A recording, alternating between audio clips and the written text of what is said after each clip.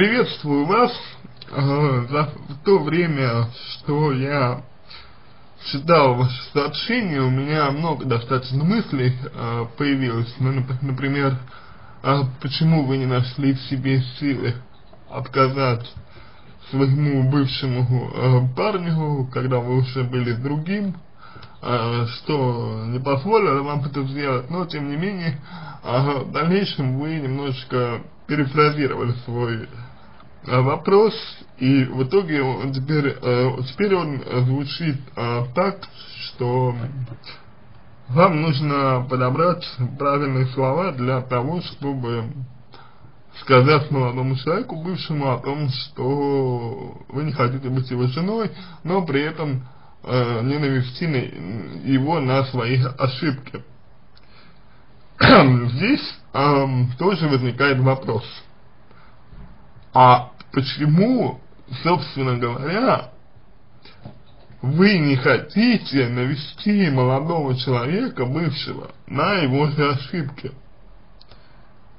Ведь если он поймет, что делал не так, то совершенно очевидно сможет что-то исправить. Разве нет? Тем не менее, вы этого не хотите, это ваше право, я надеюсь, вы знаете, что делаете, это вот у меня такое единственное э, пожелание к вам. Значит, давайте подумаем, э, как ему сказать, э, исходя из э, следующего. Значит, во-первых, э, почему вы от него ушли? Что вас э, заставило от него уйти? Уйти? Наверное, то, что он страдал алкогольной зависимостью. На тот момент вам э, совершенно определенно было, было ясно, что вы с ним не сможете построить семью, не сможете быть с ним вместе и так далее, верно? Ну, думаю, что да. Думаю, что так, что и было. А потом он, значит, как-то дал вам понять, что вновь хочет э, с вами быть. И вот здесь ключевой момент – вы увидели, что он изменился или э, что? Потому что, ну, вот не очень ясно, э, почему вы э, поменяли свое мнение по отношению к нему. Исчезли те факторы, которые раньше не позволяли вам с ним быть вместе.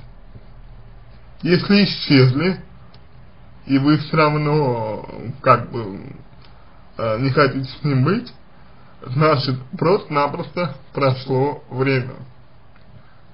Время прошло, чувства угасли.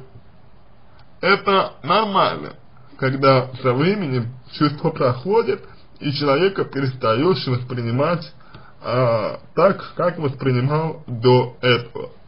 И вот об этом вам ему и нужно сказать, что, прости, дорогой, но так получилось, что ты хороший, ты очень, э, значит, очень мне дорог, я тебя ценю, но э, время, время прошло, какой-то время, какой-то период мы не были с тобой вместе, и я уже не могу воспринимать тебя так, как раньше ты для меня теперь э, в большей степени друг, чем э, мой, например, мужчина.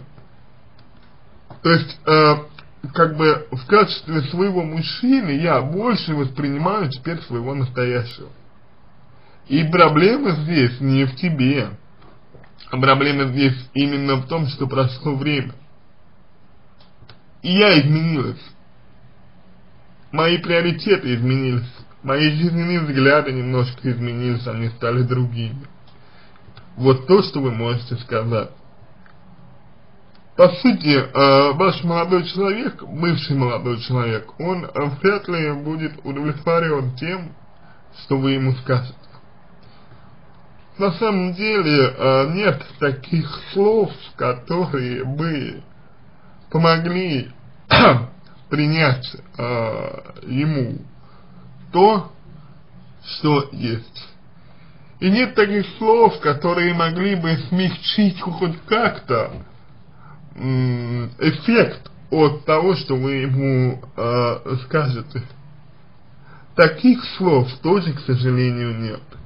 Абсолютно все, что бы вы ни сказали, будет воспринято им достаточно негативно, это нужно понимать. И неважно, что вы скажете, вот, э, надеюсь, вы, э, как бы это сказать, э, поймете это сейчас. Э, неважно, что вы скажете, важно то, как вы будете этого придерживаться.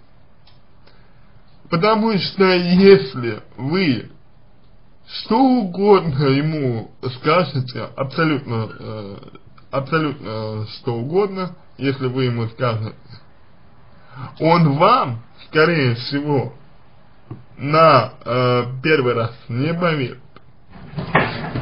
И только если вы ему своим поведением покажете, что вы действительно так считаете, что вас не сбить как бы э, в курс, который вы сами себе наметили и так далее, только тогда постепенно он будет понимать, что это действительно так, и от этого никуда не деться. То есть никуда не деться от вашего такого вот решения. Понимаете? Вот только таким э, путем можно вам двигаться.